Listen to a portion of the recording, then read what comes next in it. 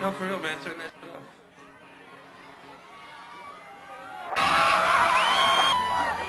It set the mood, you know what I mean? Put on some Barry